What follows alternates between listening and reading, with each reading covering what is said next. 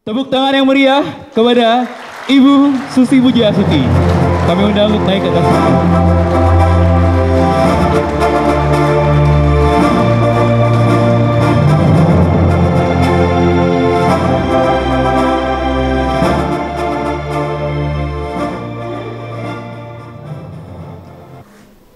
Bismillahirrahmanirrahim. Assalamualaikum warahmatullahi wabarakatuh. Yang saya hormati dan sangat saya sayangi di sini ada para senior Pak Profesor Kuntoro Mangkusubroto, Bapak Kemal, Ibu Santi sudah lama sekali tidak ketemu. Bapak Rektor atau yang mewakili Bapak Wakil Rektor dan seluruh uh, Direktur dari SBM ITB SBM ITB di kampus Jakarta dan seluruh adik-adik mahasiswa maupun alumni yang hadir pada malam hari ini saya ucapkan terima kasih atas opportunity ini. Dan Alhamdulillah saya bisa sempatkan hari ini. Saya geser CN, CNBC untuk besok hari ini saya pakai. Peter Gonta kalau kalau mau marah. Saya bilang kalau mau marah, you marah sama Pak Kuntoro sana saya. Uh, Pak Kun, Pak Kemal, Bu Santi, Pak Rektor dan seluruh hadirin sekalian. Kalau tadi saya baca judulnya Out Strategy How to Make Things Done, ya saya bilang tadi sambil berguru sambil jalan di lift, just be stubborn and just execute, nothing else. Don't listen to anybody and don't don't don't think twice, just do it. Saya bilang. Kalau mau mau cepat saya bicara selesai itu. well, uh, hampir lima tahun, hampir lima tahun kalau dihitung nanti 28 Oktober pas lima tahun. Namun officially katanya jabatan menteri itu berakhir tanggal 20 besok, which is on Sunday. So today, tomorrow, and the day after tomorrow will be my last day of work as Minister of Marine Affairs and Fisheries. Boleh saya campur-campur bahasanya ya? Oke, terima kasih. Karena nanti sebentar lagi ada edaran kita harus berbahasa Indonesia di luar negeri. So, saya kadang-kadang uh, sedikit susah karena terlalu santun bahasa Indonesia. Just too good to to to express your bad feeling or your bad mood. Tidak bisa. Jadi kadang-kadang saya campur-campur saja. Tapi bahasa Indonesia saya sudah jauh lebih bagus dalam empat tahun ini. Belajar tapi ya ya tentu masih banyak kekurangan. Jadi kadang-kadang ya selalu mix up saja supaya gampang cepat. Bukan karena saya senang berbahasa Inggris tapi bahasa Inggris kadang-kadang lebih lugas lebih lebih you get the right word for many things gitu. Bahasa Indonesia terlalu uh, bersayap-sayap.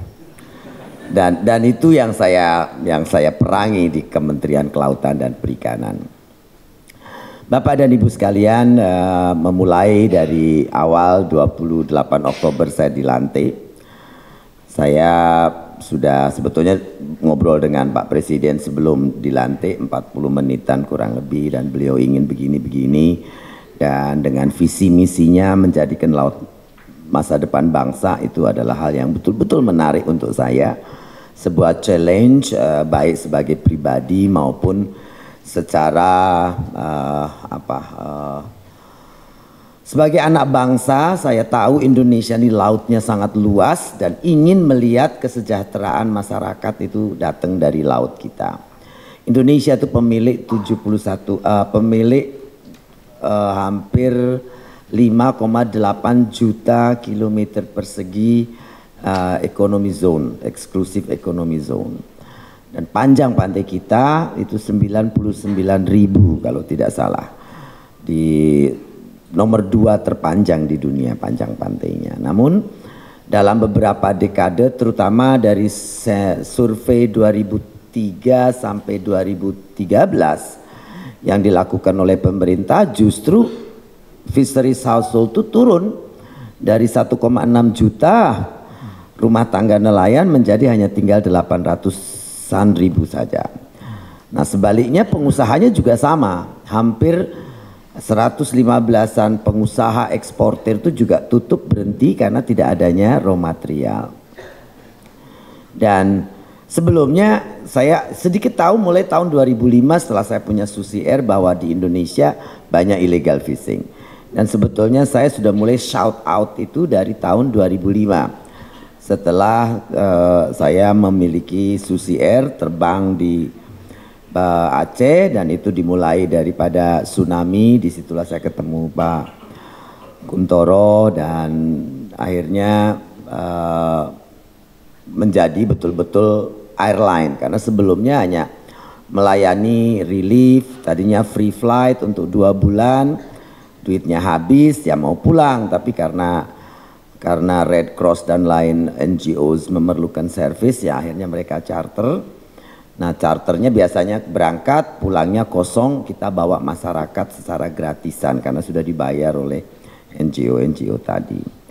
Dari situlah muncul Susi Air karena Pak Kuntoro juga meminta terbang dong reguler biar semua orang bisa akses. Akhirnya kita urus izin untuk terbang reguler dan kita mulai airline kita di Sumatera uh, di Sumatera Utara, Aceh dan sekitarnya. Kemudian saya memulai di Papua tahun 2005, 2006. Saya melihat di sana banyak kapal-kapal besar. Nah, saya jadi mulai sedikit uh, ada clue, oh mungkin karena banyak kapal-kapal itu. Tapi semua lebih jelas adalah setelah saya jadi Menteri Kelautan dan Perikanan.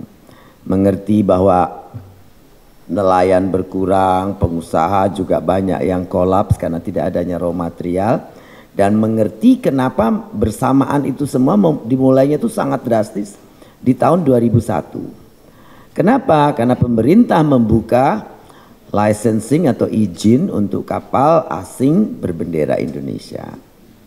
Maka berdatanganlah kapal-kapal dari luar yang tadinya juga udah nyuri tapi secara betul-betul ilegal jadi tidak berani banyak. Nah begitu dikonsesikan tahun 2001, 2000, 2001 ya dimulainya, dibukanya. Itu maka mereka beli izin satu kapalnya 10, catnya sama, warnanya sama. Dan terakhir waktu saya buka uh, data itu ada 1.300 kurang lebih izin kapal ikan ex asing. Itu minggu kedua saya jadi menteri. Jadi 28 itu berarti hampir tanggal 10-an.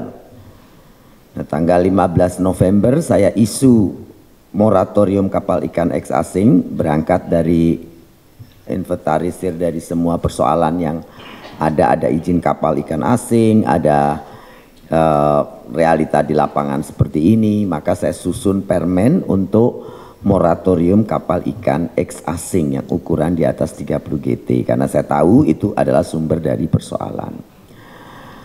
Enam bulan saya pakai untuk analisis dan evaluasi dan saya baca-baca semua aturan apa yang ada di kementerian.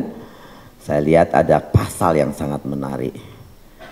Deterrent effect nya sangat besar yaitu penenggelaman kapal pasal nomor na, nomor 45 tahun 2000 Undang-Undang Perikanan tahun 2009. So saya usulkan ke Pak Presiden saya akan mulai perang melawan illegal unreported unregulated fishing. Semoga jadi posisi neraca perdagangan perikanan Indonesia di 2014 itu nomor tiga pun tidak di Asia Tenggara. Nomor tiga saja tidak. Padahal laut kita paling luas. Thailand GDP-nya selalu di atas 15. Plus 15. Nah, semua negara-negara lain jauh lebih baik dari Indonesia. Kita yang paling besar lautnya, lima kalinya Thailand, dapatnya sepertiganya dia pun tidak. Jadi something is not right. Nah, jadi ya saya mulai bikin dasar moratorium, saya ajukan ke Pak Lauli. So we just ya namanya kita kolega baru dengan semangat baru kerja kerja kerja. Saya SMS Pak Lauli please do sign so I can announcing it very soon. Jadi tiga hari. Barangkali itu rekor permen diundangkan dalam pemerintahan di Indonesia. Katanya biasanya enam bulan paling cepat Pak. Saya bilang kan. There will be no time kalau enam bulan saja baru diundangkan, lalu kemudian kita mulai harus ada petunjuk teknis dan lain-lain. So maybe after five years still nothing done. Jadi saya tidak mau, jadi saya kejar tiga hari sudah taken SMS, WA, so jadi sangat terbantu dengan adanya WA. Ya tipikal saya kalau kalau membujuk biasanya sambil dengan ancaman.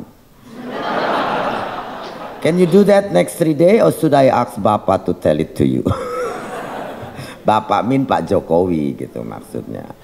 Jadi kalau saya minta sesuatu, you do it, mau nggak kerjain cepat?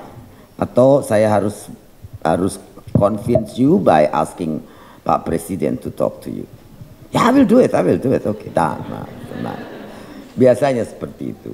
Jadi lalu kemudian saya umumkan, saya panggil dubes-dubes negara tetangga kita ada enam dubes, ada Australia, ada China, ada Thailand, Vietnam, Filipina, Malaysia, sama uh, Australia, Thailand, Vietnam, Filipina, Malaysia. Satu lagi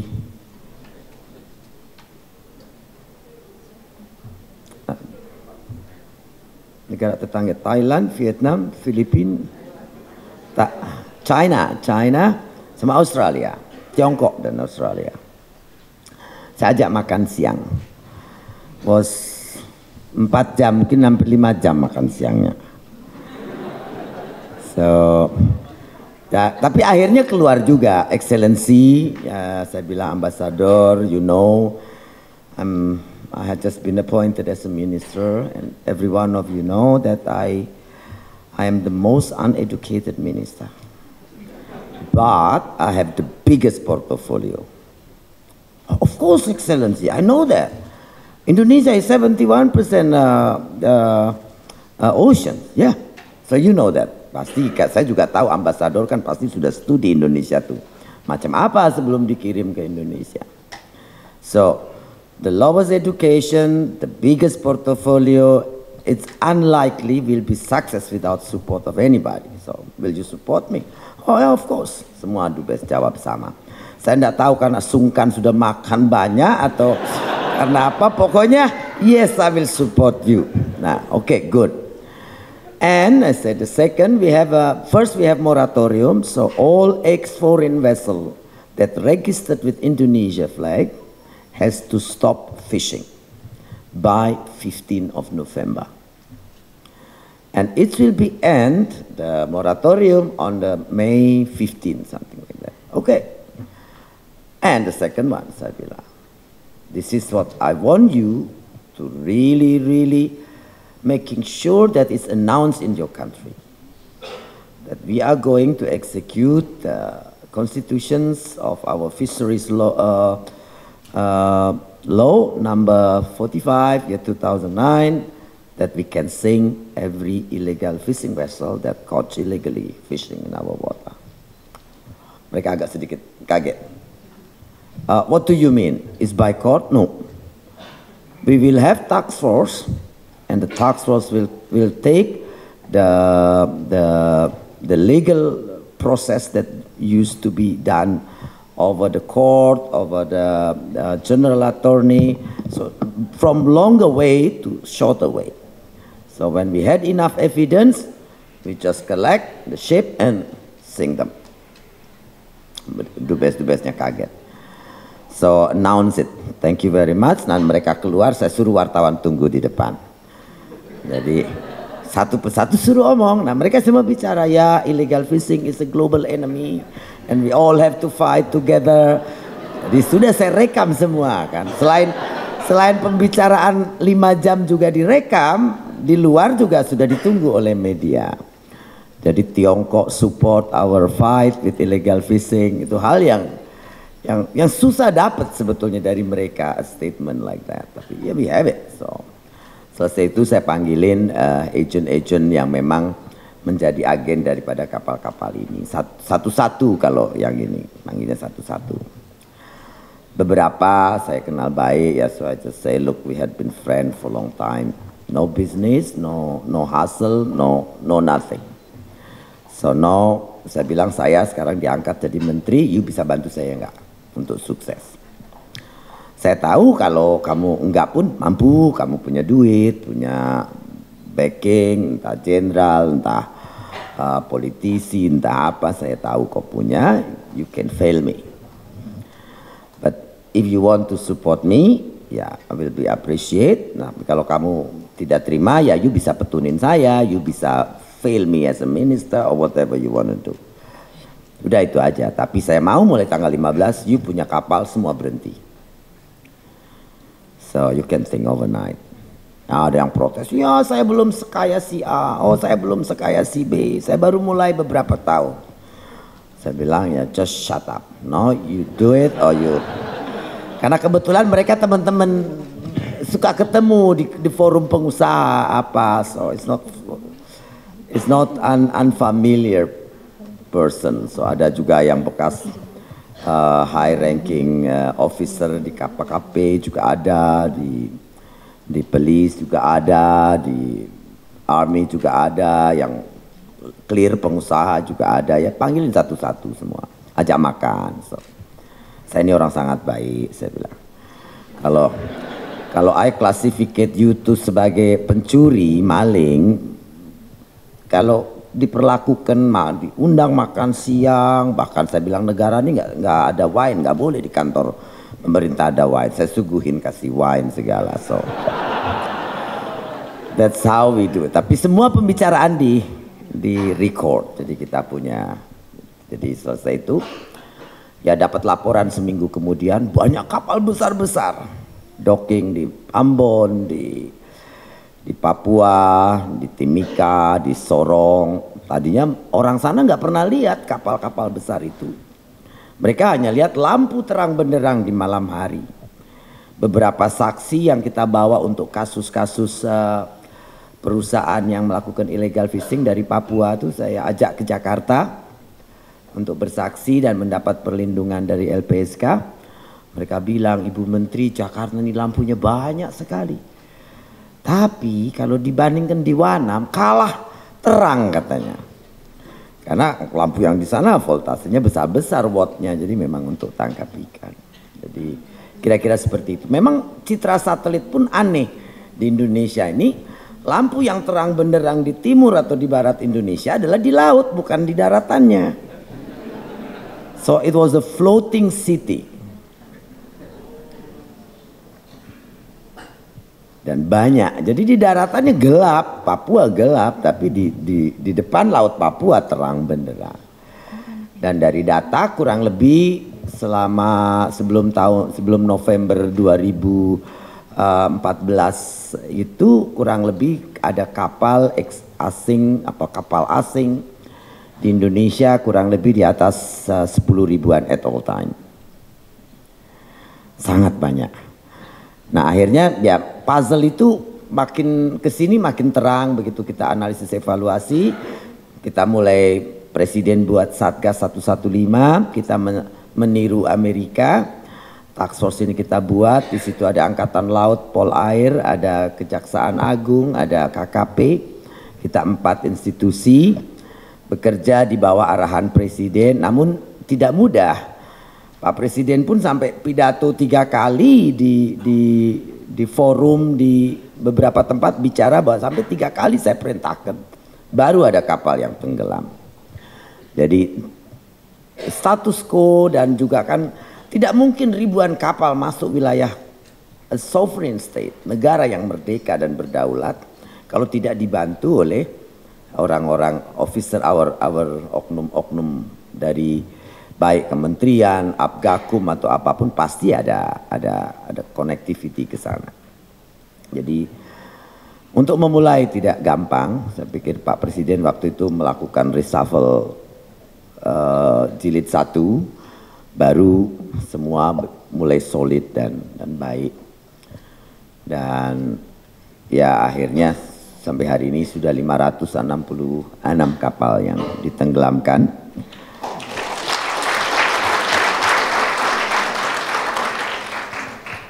dan akhirnya kita memimpin neraca perdagangan kita mulai tahun 2015 itu menjadi nomor satu di Asia Tenggara.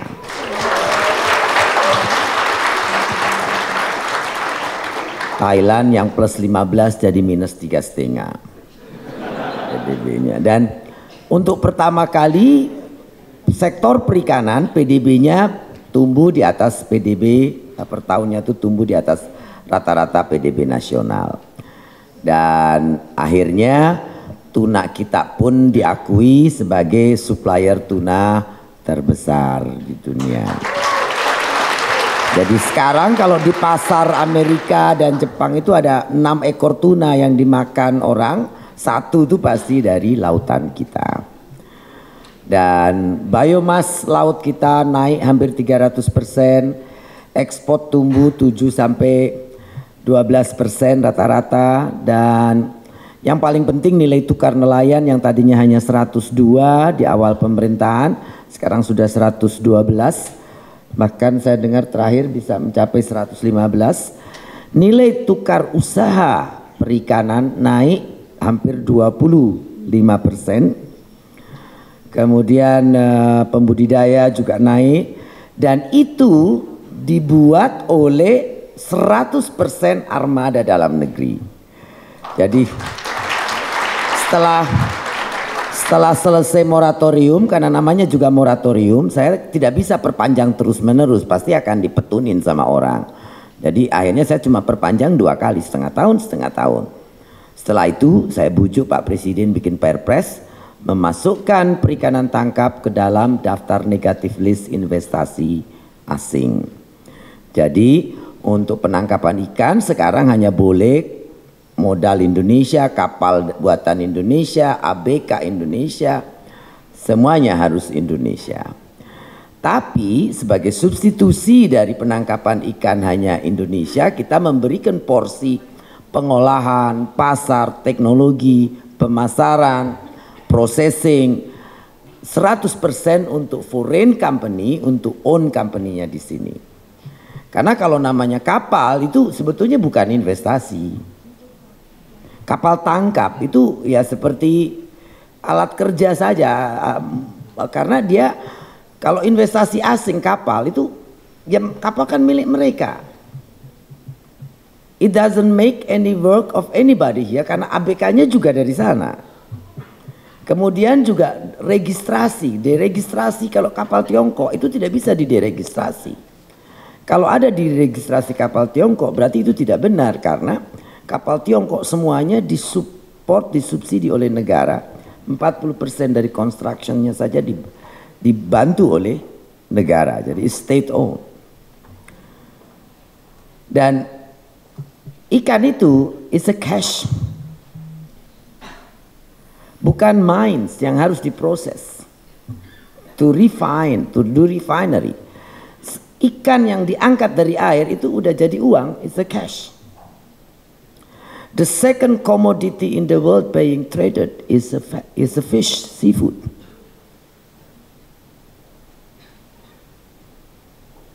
Jadi komoditi yang paling banyak diperdagangkan nomor dua di dunia itu ya seafood. Jadi saya kurang setuju kalau kapal tangkap itu harus dari luar investasi namanya. Itu bukan investasi. Karena kapal itu kalau mereka tangkap ikan dua trip tiga trip saja sudah kembali. Jadi kalau didenda ya akan balik lagi apalagi dilelang. Seperti misalnya contoh di Natuna itu kalau kapal Vietnam masuk mereka pasti lebih dari 20 kapal. Tidak pernah satu kapal saja. Mereka coming in a group. Kapal patroli kita hanya bisa ambil mungkin satu atau dua at the max five tangkap tarik. Yang 15 pulang. Each trip mereka dua bulan sampai tiga bulan. They earn at least 300,000 dollars. 3 sampai 5 miliar per kapal. Nah di kita dilelang 500 juta atau 1 miliar. Ya peanuts. Mereka akhirnya kembali lagi. Dua tahun pertama solid kita semua betul-betul takut luar biasa pertumbuhan biomas laut, uh, uh, ekspor dan lain sebagainya. Namun kemudian ada mulai lobby-lobby masuk juga ya beberapa kolega juga politisi ada yang mulai mulai bertanya apa sih uh, resultnya dari penenggelaman kapal. Cuma gagah-gagahan aja seperti koboi begitu di tengah laut katanya. Saya bilang kita nenggelamin kapal satu tahun cuma satu kali. Saya kerja cuma dua menit saja kasih komando. Tidak ada kerja lain. Dua menit saja cukup. Hitung tiga, dua, satu. Tenggelamkan selesai.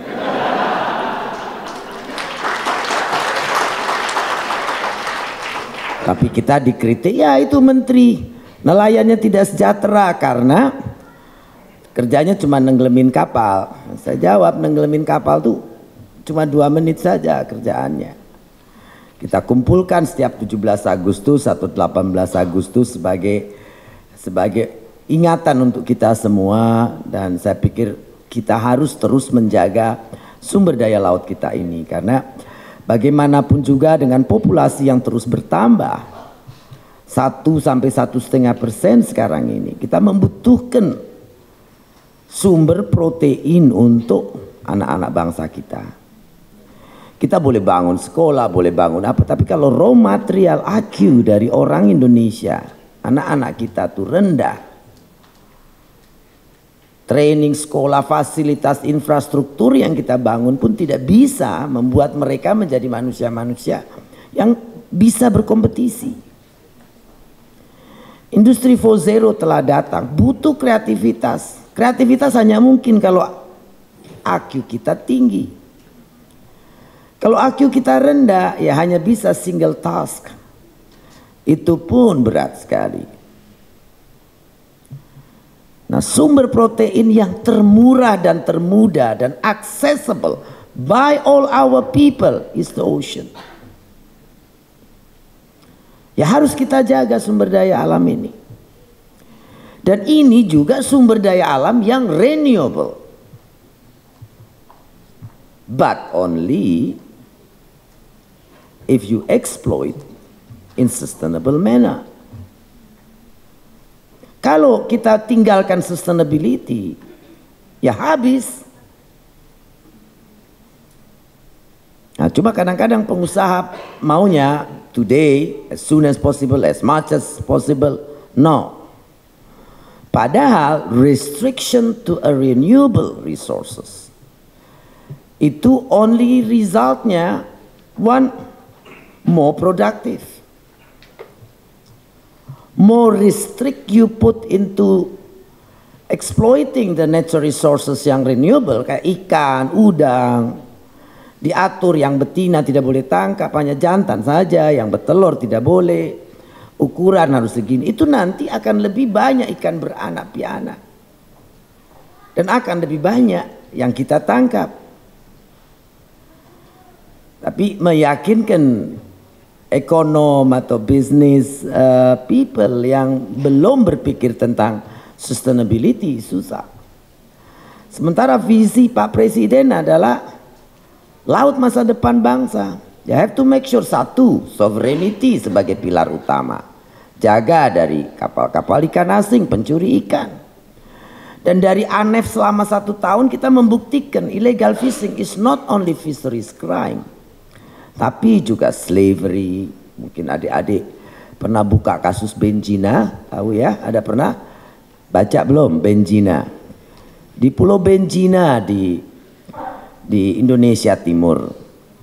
Orang-orang Myanmar yang diculik, yang dipekerjakan sebagai budak berpuluh tahun ada yang 20 tahun, 30 tahun tidak pernah pulang lagi ke negaranya. Waktu kita bebaskan di Pulau Benjina itu dengan kapal-kapal yang kita tahan itu dua ribuan orang hanya punya kresek isinya celana pendek satu dan kaos sama satu yang dia pakai. And these people work for 30 years, 20 years. Ada perbudakan. Yang kedua juga illegal trade of endangered species animals seperti burung kakak tua, krokodil, gading gajah, apa saja yang bisa dijual makin mahal, makin susah, makin susah itu, makin endangered the species binatang itu makin mahal harganya. Jadi mereka juga trade ini dari Indonesia bukan cuma nyuri ikan tapi juga burung kakak tua, kura-kura uh, moncong babi yang sudah hampir punah dan kura-kura segala macam yang yang yang kita sudah masuk CITES dia juga bawa. Masuknya they bring anything they can.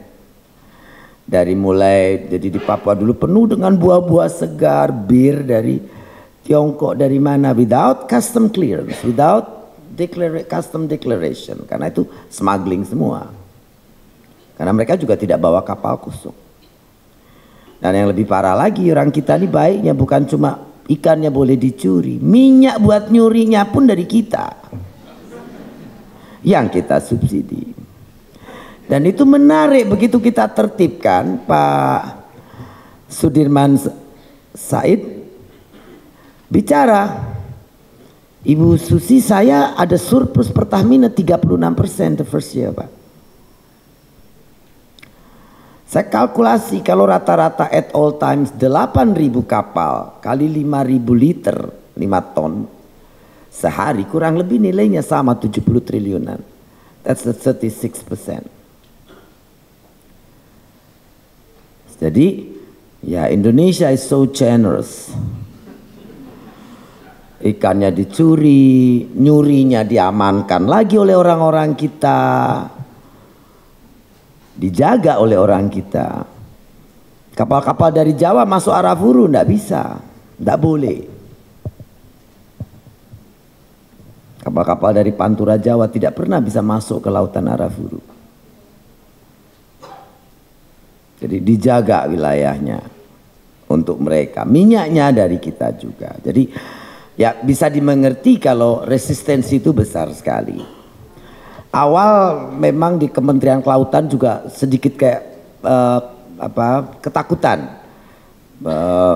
Tim-tim uh, kita tuh agak agak bagaimana tapi saya dorong untuk confident ini presiden punya dukung kita penuh dan ya akhirnya bisa meyakinkan ya dan dan sekarang ikan besar-besar lebih banyak, lebih dekat nangkapnya, lebih mudah, lebih dekat, lebih mudah, lebih banyak, ukurannya lebih besar-besar.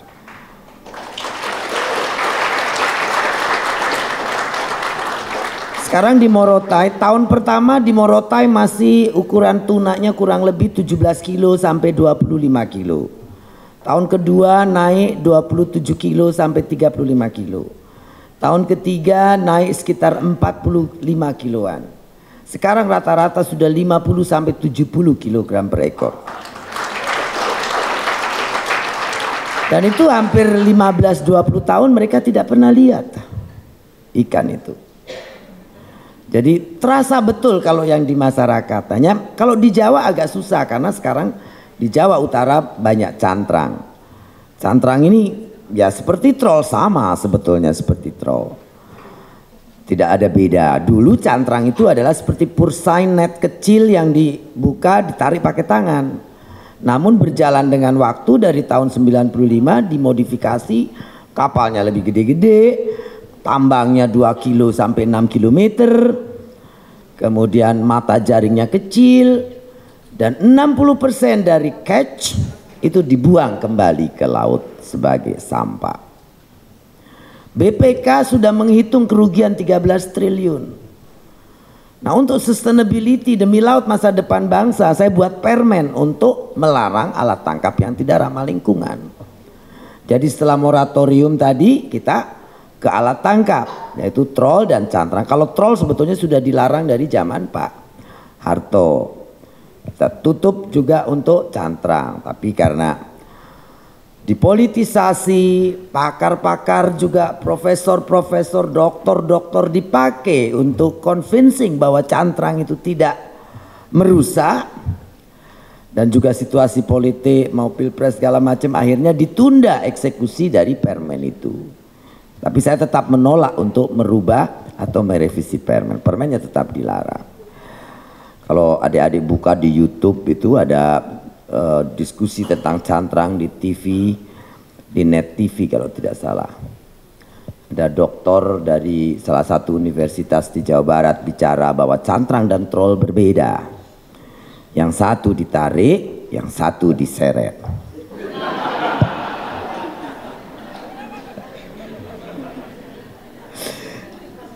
saya biasanya nggak nonton TV Pak Kun, tapi hari itu saya dari dari kamar mandi mau keluar dengerin dengerin apa? Oh, itu ibu-ibu tuh bicara tentang cantrang dan bedanya dengan troll. Jadi ibu menteri KKP itu salah melihat uh, cantrang itu apa, padahal cantrang itu berbeda dengan troll. Karena troll sama cantrang bedanya yang satu ditarik, yang satu diseret. Saya cari kamus bahasa Indonesia mana punya Pak Yusbadudu ini. Sebagaimana bisa tidak diseret ditarik pasti sampai dasar karena pantura Jawa sampai Kalimantan tidak ada laut tidak ada laut yang kedalamannya lebih dari 100 meter. Paling dalam 60. Panjang talinya sudah 2 kilo paling ke, yang kecil. Yang besar 6 kilometer. Besarnya segede gini. Ya kalau dimasukkan air pasti masuk sampai ke dasar. Belum lagi dia kasih pemberat. Dan yang sangat jelek adalah waste-nya. 50% of the catch is out. Nah itu jadi namun ya itu tadi. Tapi sudah banyak yang beralih karena mereka tahu kita tidak mau merubah merevisi. Saya harap tahun ini menterinya nanti siapa pun itu akan meneruskan kebijakan ini supaya tidak diperbolehkan dan segera dieksekusi pelarangannya karena sekarang dengan sisa 700 kapal cantrang di Pantura itu setiap hari sampah ikan yang dibuang itu at least 500 tons a day. At least. Jadi Cirebon kota udang hilang. Dulu Cirebon terkenal udangnya. Rajungannya. Ada profesi dulu ibu-ibu biasanya kita naik bus di Pantura itu ada ember bekas cat sama baskom jualan rajungan rebus. Sekarang tidak ada, sudah lama tidak ada. Mulai tahun 2000-an sudah hilang karena itu cantrang tadi dan scallop simping itu biasanya namanya simping dulu kita ekspor simping sekarang tidak ada ya karena digaruk tiap hari dasar dasar uh, lautnya. Udang hilang, Cirebon tidak ada lagi dulu musim baratan biasanya sampai 100 sampai 500 ton per hari pantura antara Semarang sampai ke Indramayu all gone. Yang muncul ya ikan ruca, ikan mata goyang yang harganya 5 8 ribu perak. Sayang kan bawal putih juga hilang dari pantura. Padahal bawal putih itu satu kilo sekarang pantura mungkin satu juta sampai satu juta setengah harganya. Dulu selatan punya bawal putih tapi tidak semahal pantura karena berbeda ketebalan dagingnya. Hilang. Jadi ikan-ikan eksotik mahal hilang. Berganti dengan ikan-ikan ruca. Dan mestinya Indonesia not selling or exploiting fish untuk yang terlalu terlalu mahal nilai seafood kita. Mestinya kita tidak exploit untuk ikan-ikan yang murah-murah. Ya kalau kita perlu untuk untuk tepung ikan import saja ikannya yang murah dari luar banyak. Semestinya kita tidak eksploitasi seperti itu. It's too valuable untuk dinilai dengan cara-cara penangkapan seperti itu. Karena yang didapat ikan dasar ikan kecil-kecil semua. Dan akhirnya mata rantai juga terputus. Nah ini persoalan. Nah ikan tuna kita 68% yellowfin dunia disuplai dari laut Banda kita. Dan sekarang luar biasa di Banda. Nelayan-nelayan Pulau Banda itu sekarang rata-rata dapat ikan tuna 60 kg ke atas bahkan sudah 90 kg per ekor. Jadi mereka mancing dengan perahu 2 meter itu sudah dapat dua ekor saja sudah 30 juta. Mereka sewa speedboat ke ke Ambon jual filetnya kepalanya bisa untuk makan Filetnya dia jual untuk diekspor nantinya. Bayar speedboat 10 juta pun mereka masih untung.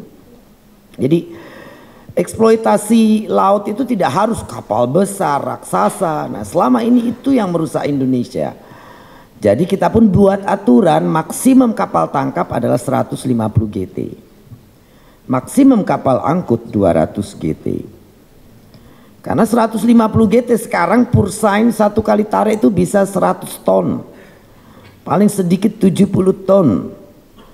Kalau kapalnya terlalu besar dengan jaring di atas 50 km, Laut Banda, Ambon itu ya cuma dengan 10 kapal saja selesai. Long line kapal-kapal besar rata-rata 150 km. Puluhan ribu mata pancingnya. Ya kalau kita long line 6 km is okay lah. Tapi kalau 150 km ya cepat habis ikan kita. Ya banyak sekarang lobby yang oh ya kenapa kita tidak kerjasamakan Laut Natuna kita dengan negara tetangga kita. Saya menolak untuk kerjasama. Karena apa? Karena ya itu tadi siapa yang akan mengawasi, kemampuan kita apa untuk mengawasi. Deterrent effect itu satu-satunya yang bisa kita pakai untuk menakuti mereka. Dan kita juga tidak mau kehilangan seperti Filipina, akhirnya Spartly hilang, Scalbo hilang, sekarang nelayan Filipina ditangkap oleh kapal Tiongkok. Karena nangkep di dekat Spartly, padahal itu dulu wilayah mereka. Lesson to learn, we don't want to do that.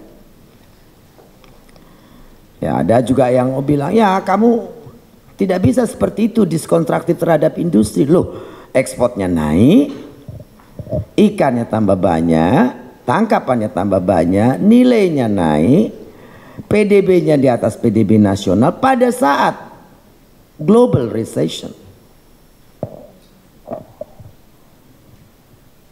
Ah, ikan itu kan migratori, pergi keliling ke mana-mana, tidak berKTP.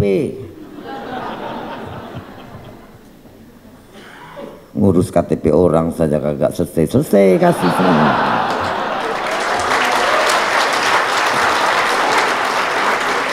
mau tambah lagi ikan dibikin KTP apa nggak tambah lagi urusannya nanti.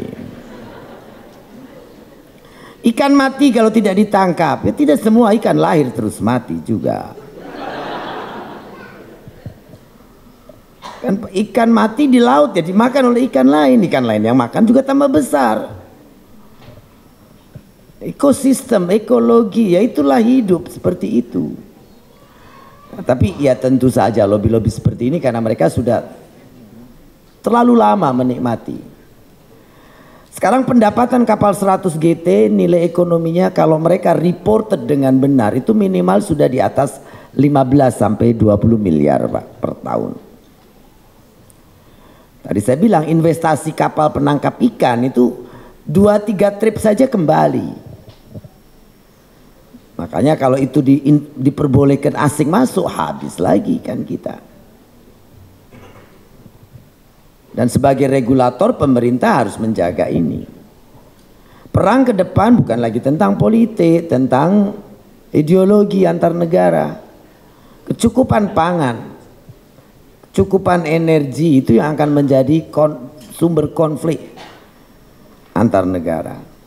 Sudah sepatutnya kalau kita punya sumber daya seperti ini, terutama sumber daya perikanan, di laut juga banyak gas, minyak, dan lain-lain. Namun itu jenis sumber daya yang kalau dieksploitasi satu saat akan habis. Namun tidak dengan ikan. Dan kita berhasil meminta Amerika untuk mengenolkan impor tarifnya di tahun 2015. Jadi ekspor kita perikanan, produk perikanan ke Amerika sudah nol, Pak Kun. Dari tahun 2015. Setelah saya mulai tenggelamkan kapal, saya minta kenapa Vietnam punya GSP, kenapa Indonesia korban pencurian kok malah harus bayar 20 sampai 30 persen. Barangkali ada yang ingat waktu itu pertama satu atau dua bulan saya minta Indonesia sebaiknya keluar saja dari G20 saya bilang. Saya tidak tahu kalau seorang menteri tidak boleh bicara begitu waktu. Saya cuma hitung ekspor ke Amerika dua setengah miliar dolar rata-rata. Dengan impor tarif 20 persen, that's 500 million. So costly untuk perikanan, untuk para nelayan. Karena Timor Leste 0 persen, Vietnam 0 persen, Papua Nugini 0%, Sri Lanka juga 0%. Kita dianggap negara kaya dikenakan 20%. Bisa nggak mau ngalah, saya bilang sama Blake, look sama uh, Secretary Kerry pas ketemu di acara di New York. You don't help me with this, I'm just asking the China vessel to come back to Indonesia and taking all the fish again. Mereka tidak suka takut itu. Saya bilang nanti kapal Tiongkok tak suruh balik, ambilin ikan di tempat kita lagi.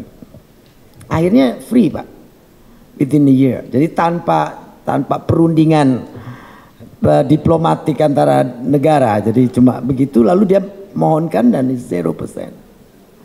Jadi perikanan Indonesia earning starting 2015 additional dari Amerika itu 500 million to 800 million. Karena kadang-kadang kita ekspornya juga melebihi 3 miliar dolar ke Amerika. Eropa kita belum bisa. Kemarin saya ketemu Mr. Kamenovela, komisioner, saya bilang saya going to sue you, saya bilang. If I have time and I still minister, saya akan sue Uni Eropa. Karena tidak adil dengan Indonesia. Vietnamnya nol yang mencurikan. Kita yang dicuri hampir 26 ke atas.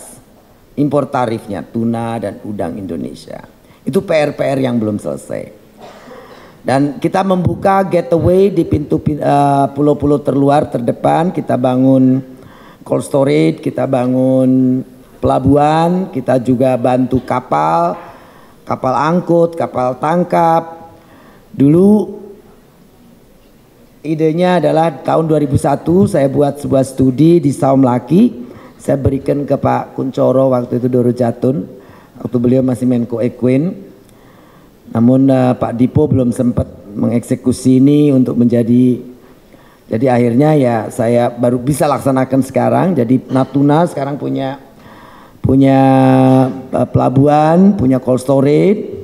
Dan sebetulnya itu salah satu juga uh, strategi dari pertahanan kita. Kalau ada apa-apa kita punya uh, stok makanan, punya komponen cadangan para nelayan tambahan, juga kapal angkut, kapal nelayan yang ratusan tadi ada dan itu free of cost karena ekonomi berjalan di sana.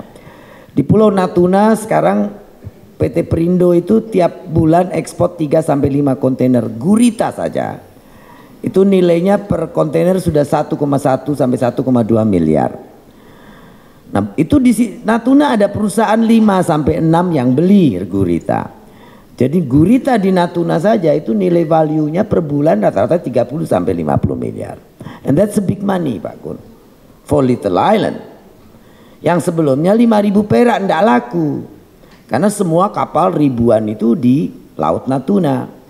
Vietnam biasanya kurang lebih setiap akhir tahun minta perlindungan 2.500 kapal mereka untuk masuk ke bawah sedikit untuk menghindari typhoon monsoon. Biasanya dia minta dua minggu, dia sebutkan jumlah kapalnya sama ABK-nya seperti itu. Ya memang strategi untuk mengeksekusi bagaimana things done itu ya saya lakukan selama ini tanpa tanpa kiat apa-apa ya pokoknya harus done saja. Karena kalau tidak ya susah. Sama juga dengan dengan anggaran. Saya lihat kok inefisiensi terlalu banyak. Lalu kita retreat selama satu minggu melihat anggaran ini bagaimana Lalu saya mulai predatin satu-satu hal-hal yang tidak logik. Tapi besok lagi balik lagi. Kenapa ini persoalannya? Nah ternyata banyak kata-kata yang yang yang bikin pusing, kata-kata bersayap.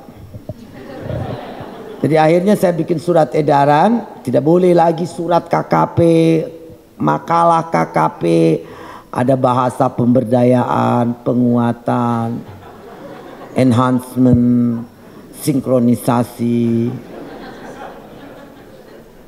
akselerasi. Tidak jelas ukurannya apa. Kadang-kadang baca seminar katanya aja sudah 24. Bagaimana mengerti konten presentasinya kalau baca judulnya saja sudah nggak ingat. Sudah pusing. Sekarang kadang lihat pelatihan uh, intinya pelatihan guru atau pelatihan apa gitu.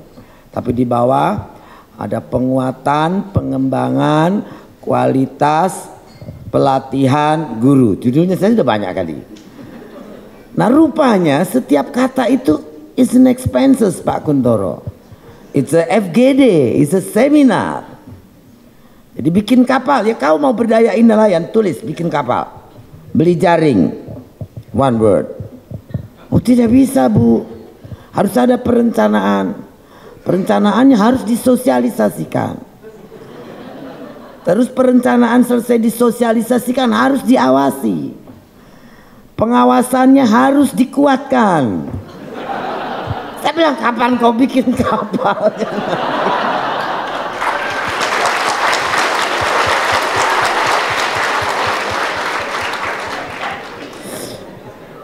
Saya ketemu sama orang World Bank sama orang apa. I love that. I wish I could use this one. Ya, why don't? Why, why? Saya kasih aja itu suratnya kan, apa kata-kata yang tidak boleh. Wah, saya bilang besok saya dipecat sama World Bank katanya. Tapi hasil dari itu, we cannot use the money anymore, Pak Kul. Jadi dalam 2015, 2016, 2017, 2018, kita self blocking kembalikan ke pemerintah 9 triliun. But that's not happy the people, Pak. Dan saya confirm kemarin uh, last week was uh, ya itu kenapa kamu dihukum dua tahun pertama kamu kena disclaimer.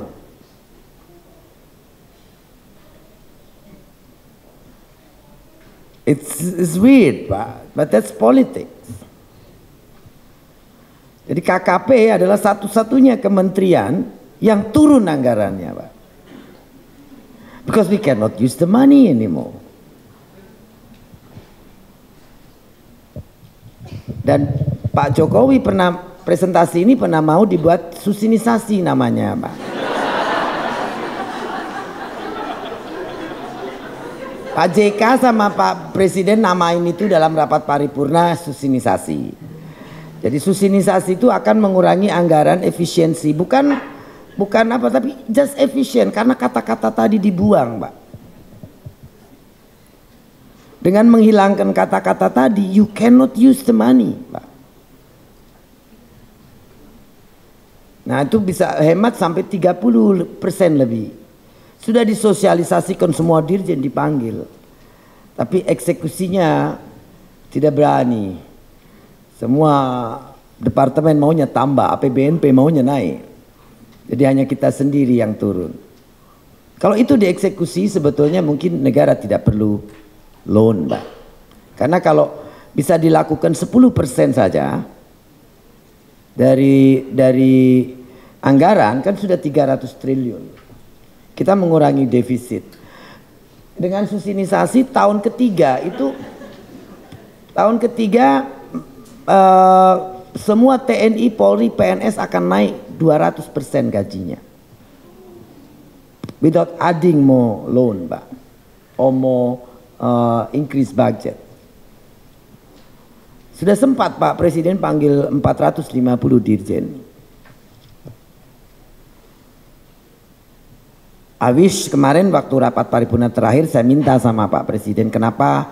Karena Pak JK komplain tiap akhir tahun tuh banyak pembayaran honor dari APBN yang tidak tidak efisien. Terus banyak pembayaran honor yang tinggi sekali. Belanja modalnya turun tapi honornya naik. Jadi inefisien. Dan itu sebetulnya tidak perlu kalau kita bisa lakukan ini. Saya bilang kenapa nggak dilakukan saja Pak Presiden? Nggak usah kasih nama saya kasih nama bapak atau kasih nama siapa saja. Susinisasi tidak usah.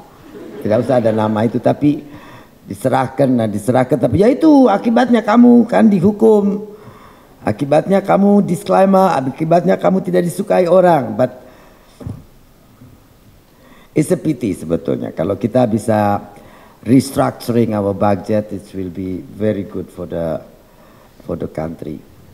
Nah, nah ini planning yang harus di masih dieksekusi di PR-PR negara ini banyak. Dan kalau kita rekrut cum laude kita mesti kasih akselerasi channel kalau tidak juga mereka tidak akan happy then they will get out. Jadi nanti ada ada channel khusus untuk kenaikan pangkat yang pintar-pintar. Dan itu sudah saya usulkan ke Pak Presiden. Mudah-mudahan new cabinet will execute this. That was the the last uh, the last apa idea, the last uh, yang saya pikir bisa memperbaiki kualitas pemerintah.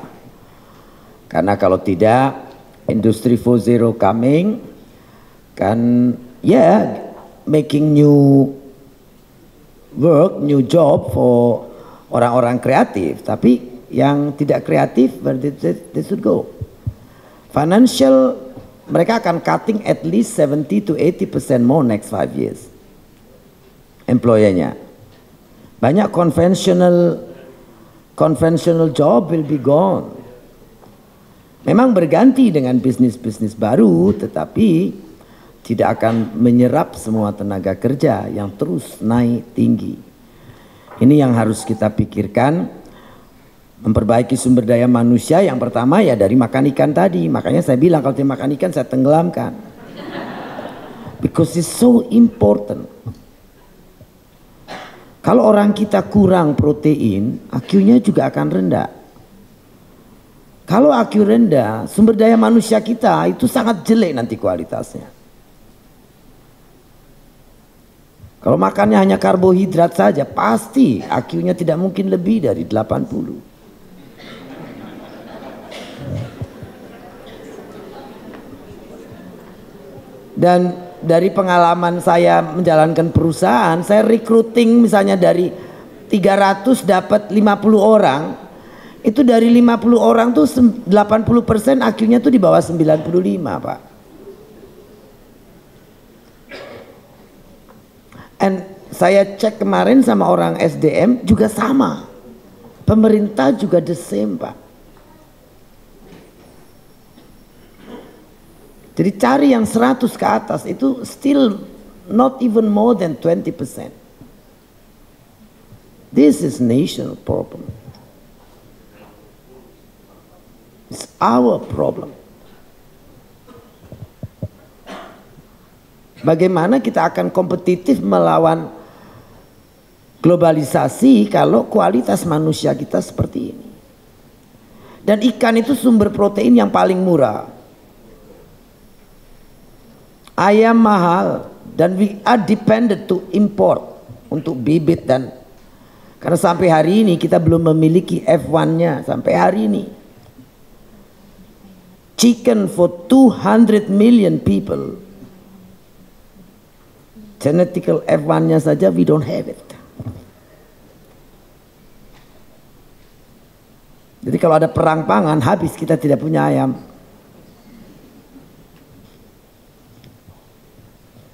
Jadi bagaimana pentingnya laut ini untuk kita jaga. Dan itu renewable resource yang berkelanjutan.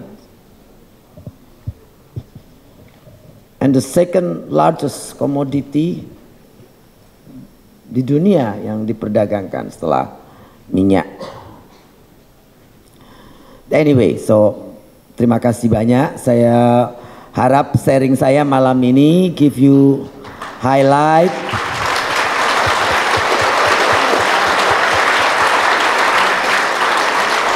Mudah-mudahan Terima kasih banyak. Besok hari Jumat saya kalau kawan-kawan bapak-bapak Pak Kun saya tentunya minta untuk menjadi pengulas saya launching buku kedua, yang buku yang pertama Laut Masa Depan Bangsa tentang polisi-polisi perikanan. Yang kedua transformasi kelautan dan perikanan Indonesia, di mana di situ lebih ada banyak seluk beluk dan juga sedikit intrik-intrik macam-macamnya lebih lebih lengkap. Tapi satu hari tentunya next 30 years I might write a book yang lebih open lagi. Kalau sekarang belum boleh kan Pak Kun katanya uh, kena klaus uh, kerahasiaan negara. So I will do it next 30 years. Thank you. Baik, terima kasih Ibu. Kita buka sesi pertanyaan. Terima kasih sekali atas sharing dari Ibu tadi sangat menginspirasi kami, terutama bagaimana Ibu mengeksekusi suatu uh, strategi gitu ya. Dan uh, dalam hal ini ke dalam dunia bisnis kadang kita mengenal ada strategic strategic plan atau uh, dan strategi eksekusi di mana dua-duanya ini tentunya sangat penting untuk di handle secara balance. Tapi sayangnya uh, banyak sekali uh, apa ya CEO gitu ya uh, lebih fokus pada bagaimana membuat strategic planning. Jadi kurang memperhatikan tentang strategi eksekusi. Dan ini terbukti dari survei yang kadang kita baca itu banyak sekali CEO yang gagal untuk mengeksekusi suatu strategi. Dan dari tadi kalau kita lihat dari Ibu yang sampaikan, uh, Ibu uh, sangat berprestasi di bidang bisnis maupun di dunia government, Ibu sangat uh, memuaskan. Untuk itu mohon saran dari Ibu mungkin kira-kira uh, bagaimana agar strategi eksekusi itu bisa berjalan dengan baik. Terima kasih. Assalamualaikum warahmatullahi wabarakatuh. Uh, strategi eksekusi sebetulnya ya tadi saya melihat kebiasaan mungkin tadi CEO yang begitu ya harusnya jadi birokrat saja. That's one thing. Karena saya lihat kadang-kadang kita bahasa bahasa dalam strategic planning kadang-kadang is so apa too sophisticated lebay You tuh mau omong apa gitu kan? Kadang-kadang saya baca uh, buku tulisan tentang ekonomi, bisnis, plan gitu, tuh kadang-kadang complicated sekali bahasanya. Saya biasa dulu waktu masih di bisnis bikin executive summary ya tiga lembar saja. That's that's my big business plan. Ya nanti dibikin yang yang misalnya panjang-panjang ya suruh konsultan saja. But consultant is just talk and advise about it. He also doesn't know how to execute. Nah, itu problem kan. Ya kita perlu karena legalitas administrasi persyaratan kadang-kadang memerlukan those complicated. Tapi saya pikir kita mesti berubah. Perguruan tinggi mungkin bisa membuat membuat dis tradisi berubah bahasa. Saya ingat dulu tahun 95 suka diminta sama Pak Rias Rasid lewat teman untuk betul apa me, mengedit buku pemerintahan lembaga administrasi negara. Itu dari 500 lembar saya bisa cut sampai cuma tinggal 90 lembar saja. Karena itu tadi satu alinea katanya bisa ada 400 kata. Terlalu banyak susah juga dimengerti. Jadi mungkin ya itu tadi membuat dari bahasa dulu eh, linguistiknya dirubah. Kalau saya melihat di KKP itu persoalan pertama. Jadi satu bulan pertama saya larang bikin surat edaran tidak boleh pakai kata-kata penguatan, sinkronisasi, harmonisasi, sosialisasi, akselerasi. Saya tidak mengerti. Kamu mau apa? Bantu nelayan, beli jaring, beli kapal. Budidaya, produksi bibit. Tapi ya ya merubah ini tidak mudah, ya harus dengan keputusan. Untuk saya, saya percaya wrong decision is still better than than than nothing. Karena kita bisa taking lesson. But if you never make mistake, you also never get the lesson.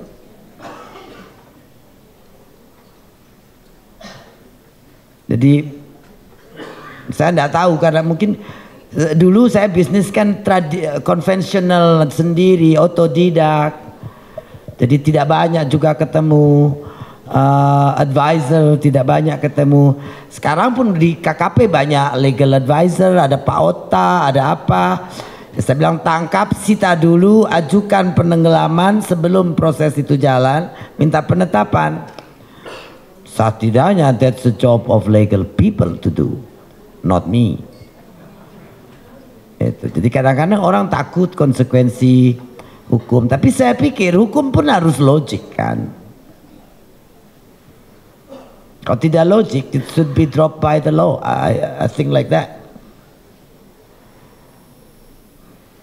Jadi kalau udah kita analisa sudah oke, okay, logik, rasional, then do it.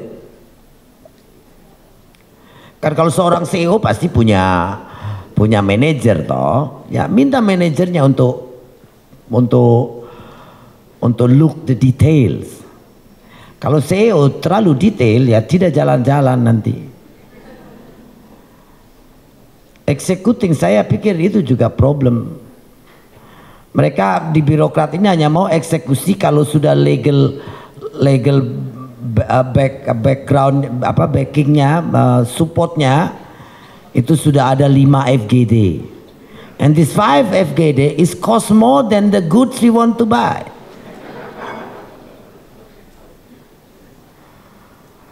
Ya mau beli misalnya program bantuan apa, nilai bantuannya 5 miliar, FGD-nya 6 kali atau 7 kali, 6 miliar lebih. Nah, tidak bisa seperti ini diteruskan. Itu akan menghambat kecepatan kita, kecerdasan kita, dan akhirnya ya kekuatan kita terhambat because we we so inefficient. Planning to do thingnya terlalu banyak, too much plan. Nothing is done. Karena planningnya juga harus diseminarkan, harus diakselerasi, harus enhancing the planning. Saya mohon maaf, saya kalau saya mentertawakan kalau ada hal begitu. Tidak bisa saya tidak ketawa. Baca judul seminar di TV ada ada departemen apa bikin seminar. Kalau ada KKP langsung saya bilang itu siapa bikin seminar? Judulnya begini-begini terlalu banyak. Lupa apa arahan edaran menteri saya bilang begitu. To the point saja. Straightforward.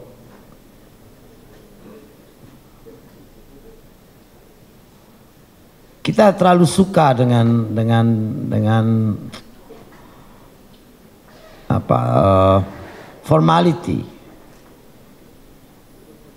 make things the end not done kadang-kadang jelas jadi tidak jelas tapi realita di Indonesia begitu logistik ikan log, bukan logistik logistik Indonesia is so irrational Ikan dari Morotai harus dibawa ke Bitung, Bitung bawa ke Makassar. Makassar baru ekspor ke Jepang. Saya buka itu SKPT SKPT di luar. Ya ikannya banyak, cold storage-nya ada, tapi ekspornya kemarin dari Natuna itu mau dibawa ke Jepang, bawa dulu ke Jakarta, turun jauh ke bawah. It's even farther than Natuna Jepang. Nah, itu kita baru bicara ekspor. Nah, yang logistik every day and for for many decades ayam yang dimakan orang Papua, yang dimakan orang NTT, Kupang, datang dari Surabaya atau dari Jakarta, most dari Surabaya. Pakai kapal dia ke Makassar dari Surabaya. Makassar Ambon. Ambon Sorong. Sorong fak-fak baru ke Saum Laki, baru ke, atau ke Kupang. Ikan apa ayam sudah beku. Harus keliling Indonesia sebelum dimakan.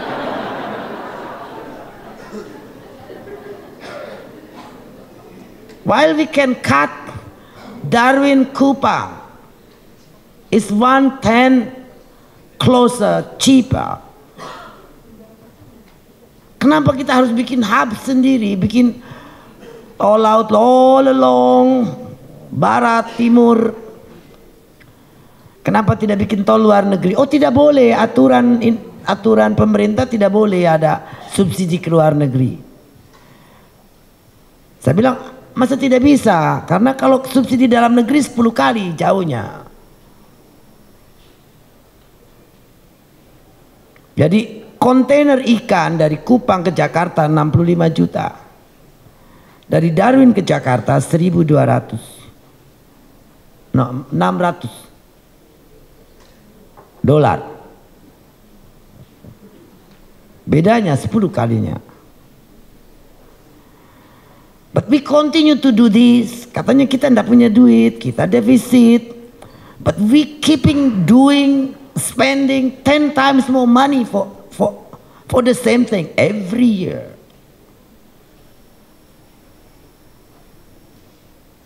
Dan itu bukan cuma ayam, sapi, beras.